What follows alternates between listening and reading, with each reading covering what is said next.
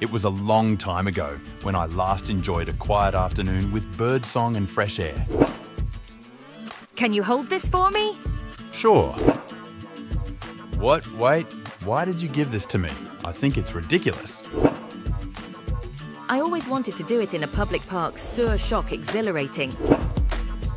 Which one do you want to taste first? My lips or my meow?